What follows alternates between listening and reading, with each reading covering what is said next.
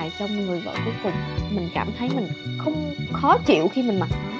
Và mình thật sự thích, và hầu như những cái bộ phim khác thì mình sẽ mặc những cái bộ đồ rất là fashion, nó hơi bó một xíu, mình mang câu gót. Lúc nào cũng phải ngồi một cái tư thế nào đó để cho bộ đồ nó đẹp. Còn đây là bộ áo dài làm cho mình đẹp.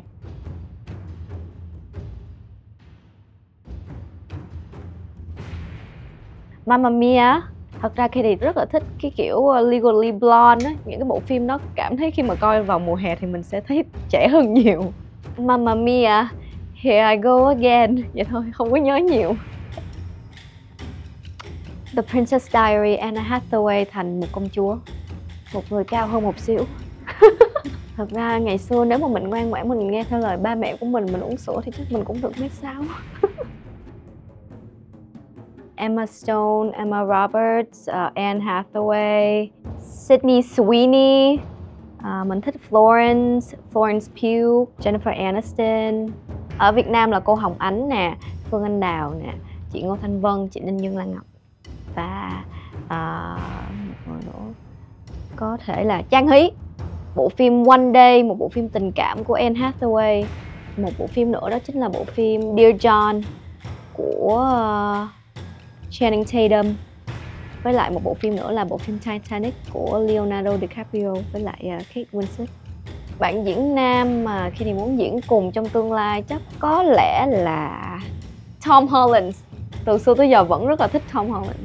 Mình thấy cái tính cách của Tom Holland nó rất là tươi trẻ và mình cảm thấy rằng là cái sự chuyển đổi của bạn từ những cái vai diễn lúc mà bạn còn nhỏ trong một cái bộ phim sóng thần á tới khi mà bạn đóng Spider-Man cái sự trưởng thành nó rất là rõ ràng trong những xuất một người đã đồng hành cùng với Katie ờ, bộ phim đầu tiên đó chính là anh Trần Khánh Hoàng. Bản thân của Katie thấy anh rất là đa dạng và tới bây giờ thì anh cũng đã làm rất là nhiều phim. Một người nữa là anh Bình Bồng Bột là một người thật sự đối với Katie là hầu như những kịch bản nào anh tham gia đều là những kịch bản trăm tỷ hết. Và một người nữa uh, có thể là Charlie Nguyễn chú Charlie thì mọi người sẽ thường nghĩ và thấy chú với vai trò là một người đạo diễn và sản xuất.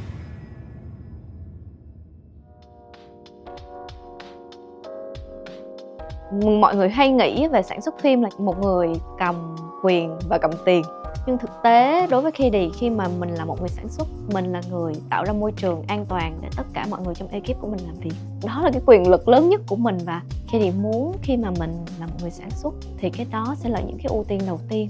Khi Đi nghĩ là nó sẽ là một cái câu là don't talk too much, but just do it you know? Like, thực thực tế nó chỉ là những cái việc mình sẽ làm được. Đôi khi cái việc mình nói nó sẽ không hay bằng cái việc mình có làm được hay không. Làm và cái lời nói của mình nó sẽ đi ra từ cái việc mình làm được hay không? Charlie Nguyễn, chú Hoang, HK, anh Trấn Thành nè và um, anh Lý Hải. Chỉ kể được một vài người thôi tại vì một vài người đó họ lặp đi lặp lại cái kỷ lục đó rất là nhiều lần. Nên là khi thì nghĩ là cái số lượng đó là đã vừa đủ. Nhưng mà đối với em em thấy chị mỹ tâm cũng là một cái mà em cũng mong ước mình làm được là những người sản xuất nữ họ là woman, nhưng mà hầu như mọi người sẽ phải nhìn nhận đó là một người nam. Khi thì nghĩ không có câu chuyện nào là một câu chuyện dở, và không có câu chuyện nào là một câu chuyện xuất sắc hơn cả. Chỉ là ở góc độ người kể, thì nó sẽ có nhiều cái để mà mình đưa ra những cái sức hút khác cho cái kịch bản của mình. Nếu mà được một bộ phim trăm tỷ thôi, cái cơ hội thứ hai cơ hội sẽ là một cái điều rất là quan trọng, và cái điều lớn nhất mình nhận được là cơ hội.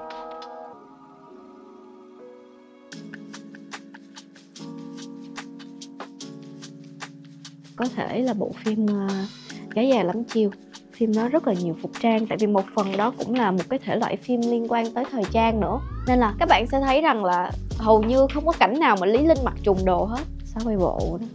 Sáu bảy bộ trong một ngày là rất là nhiều. Chắc là áo dài trong người vợ cuối cùng mình cảm thấy mình không khó chịu khi mình mặc nó và mình thật sự thích hầu như những cái bộ phim khác thì mình sẽ mặc những cái bộ đồ rất là fashion nó hơi bó một xíu mình cũng đang câu gót lúc nào cũng phải ngồi một cái tư thế nào đó để cho bộ đồ nó đẹp. Còn đây là bộ áo dài làm cho mình đẹp. Nó có thể là màu sắc hoặc là những uh, cái hình ảnh tượng trưng. Chị uh, ờ, khi thì nghĩ rằng là đã là đương đại rồi thì tất nhiên mình sẽ mang một chút xíu gì đó nó mới mẻ và của thời điểm hiện tại vào thường sẽ là màu sắc và một cái uh, biểu tượng gì đó. Và có thể là cái form dáng sẽ là những ba cái điểm mà khi cảm thấy là sẽ uh, mang cái cái trang phục đó. Thôi mình làm Anna Winter đi cho nó iconic right? She doesn't smile. She ít khi she cười lắm. Thực ra mình không có phân vân mình ít khi nào mình phân vân tại vì khi thì là một người tính rất kỹ. Và một khi khi thì đã muốn cái gì khi thì mong muốn được thực hiện điều đó. Nên là khi mình chuẩn bị một bộ trang phục. Và mình đã có cái sự hình dung rằng là mình muốn cái idea, cái hôm đấy mình sẽ xuất hiện như vậy. Thì mình sẽ chia sẻ hết với nhà thiết kế của mình hoặc là stylist của mình. Và mình rất là may mắn khi mình đồng hành cùng với anh Lê Minh Ngọc á. Thì hầu như những gì mình nghĩ trong đầu cũng giống như những gì anh nghĩ trong đầu. Và hai anh em làm việc phối hợp với nhau rất là tuyệt vời.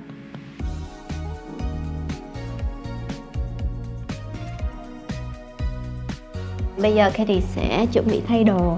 Mọi người xem outfit của mình ngày hôm nay nha Rất là lấp lánh, lung linh.